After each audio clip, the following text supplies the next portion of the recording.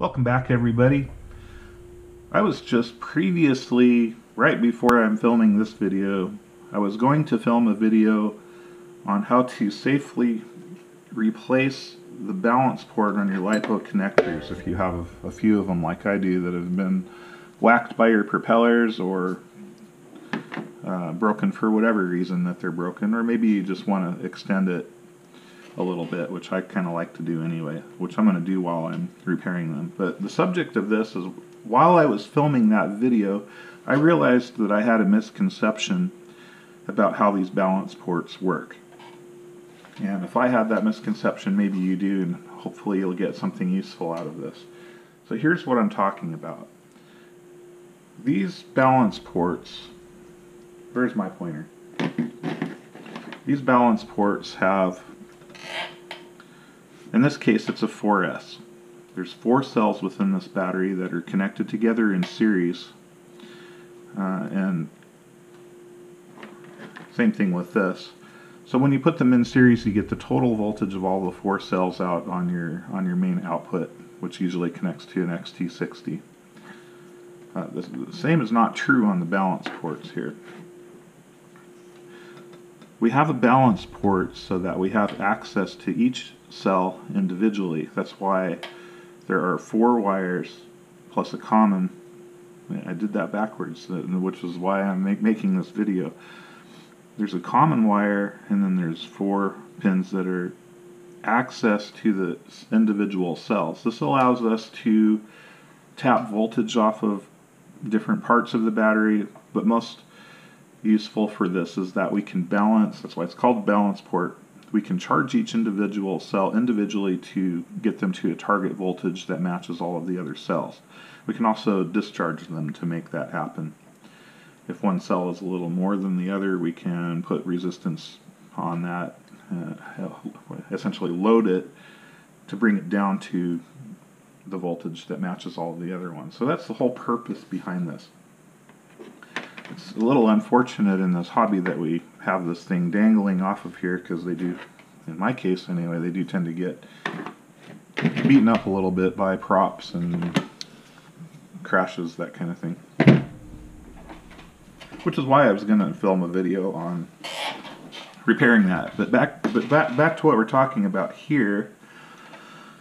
I realized when I started doing this that I had some misconception, a misconception about what the order and the purpose of each wire is here specifically. So I built this little breakout cable. Now I don't recommend you make one of these. This is probably a dangerous thing to have laying around because if you plug it into your balance port, there's a potential for it uh, the wires shorting to each other, and if that happens, you're going to have a bad time. So when I built this breakout, I kind of staggered the wires so that it's less likely for them to come in contact with each other.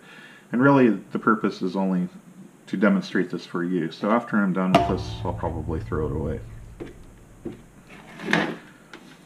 So I have my trusty old Triplett meter. It's just an old Triplett meter that's been kicking around in my toolbox. And uh, just recently I broke the little lead on the, the pointy part of the, the probe, so I have it cinched down. Now I've connected the negative wire and maybe it seems counterintuitive to you that there's four wires marked in one color and one that's marked in a different color, and it turns out that this is not the ground and there's four positives. This is the ground and then these are the four positives. And it finally occurred to me why that would be. And some manufacturers of these uh, have different colors on here. This kind of actually makes a little bit more sense. This is the ground wire, cell 1, cell 2, cell 3, cell 4. Also, coincidentally, uh, you would get a between the ground and this, you would get a total the, the total voltage across the battery just as you would with, with the XT60 main output connector.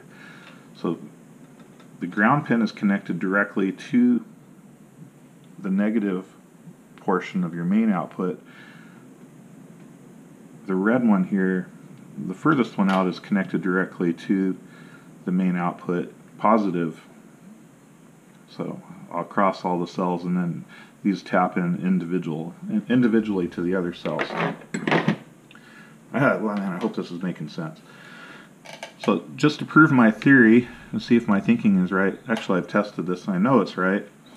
So the negative is here going to the first pin here, the first black one.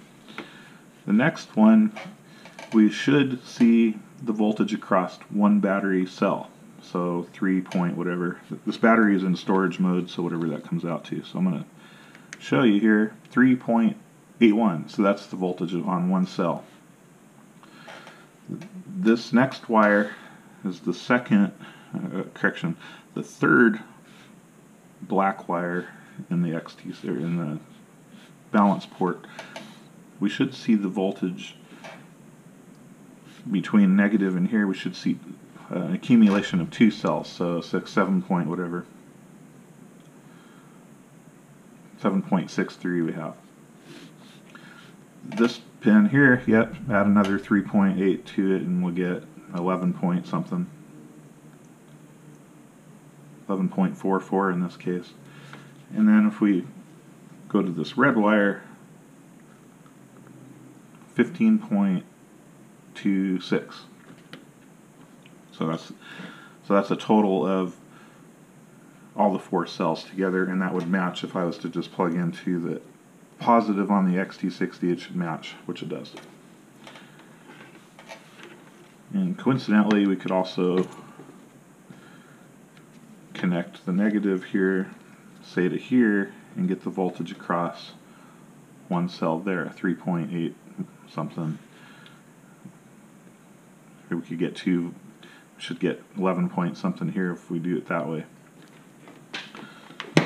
So the point here is that it was a little bit counterintuitive to me as somebody that has a little bit of electrical engineering background to have one wire that was one color and four wires that were a similar color to themselves representing be, I guess what I'm saying is it would be easy to think that this is the ground and then these are four different positives because that usually electricians think in terms, or and electrical engineers think in terms of a common wire like a ground, and then everything else being said. But that's just not the case here. So anyway, I hope this was helpful to you. I rambled a little bit. I, I apologize.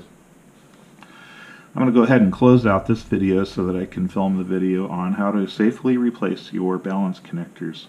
So if this is useful to you, please consider subscribing and uh, you can get updates on all of the shenanigans on this channel. I'll talk to you next time. Have a good day.